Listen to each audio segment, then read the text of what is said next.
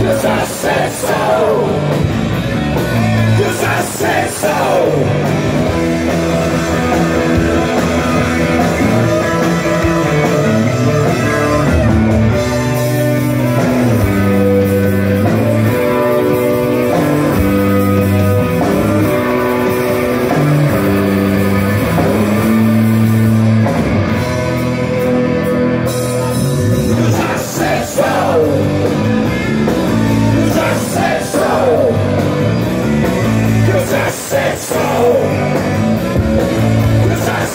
Sal!